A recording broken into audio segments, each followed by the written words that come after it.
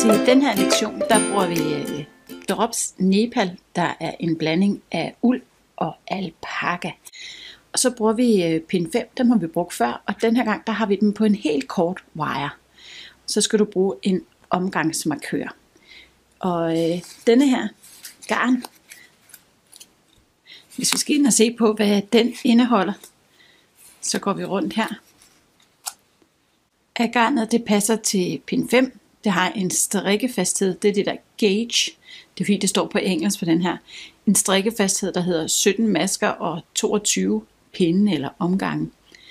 Og strikkefasthed, det kommer vi øh, mere ind på i øh, en af de sidste lektioner. Og så er der 50 gram i det her garn, og det løber 75 meter på 50 gram. Så det er altså et relativt tyk garn. Det består af 65% uld og 35% alpaka. Og vi skal have slået op til det her halsterklæde, som der er sådan en lille hals, halsedisse.